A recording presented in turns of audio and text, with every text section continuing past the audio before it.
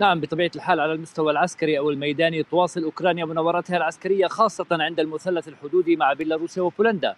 القوات العسكرية الروسية المحتشدة في تلك المنطقة. على وجه التحديد تتوقع أوكرانيا أن يكون الغزو في حال ستتقدم روسيا لدخول الأراضي الأوكرانية فستكون من تلك الجهة تحليلات المحللين العسكريين المحليين هنا في الصحف الأوكرانية.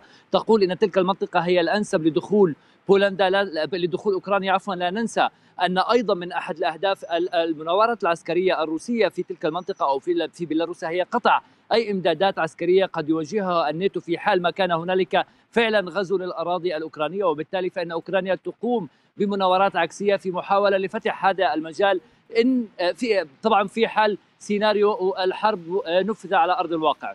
على المستوى السياسي كان هنالك احتجاج أو تخوف من قبل أوكرانيا تجاه بعد الضربة الضربة التي تلقتها قرية لوهانسكا في الدونباس تقول أوكرانيا أو الحكومة الأوكرانية بأن المخاوف تكون بأن روسيا تريد تطبيق سيناريو أو دعاية اعلاميه إعلامية بأن القوات الأوكرانية قصفت تلك المنطقة وبالتالي فإن روسيا كانت ستتذرع بطبيعة الحال بأن أوكرانيا من بدأت الحرب أو الانفصاليين الانفصاليون سيردون على هذه الضربات وبالتالي يكون هنالك اجتياح روسي للأراضي الأوكرانية وهذا تعليقا على ما قاله في قبل أيام عند لقاء الرئيس الفرنسي إيمانويل ماكرون مع نظيره الروسي فلاديمير نعم. بوتين قال بأننا لن نقوم أو لن نكون جهة أي تصعيد وبالتالي فإن المناوشات بين الانفصاليين والجيش الأوكراني قد تكون هي الشرارة هنالك نعم. أيضا مخاوف على المستوى الاقتصادي محاولات من أوكرانيا لاجتذاب مساعدات مالية نعم هنالك سلام.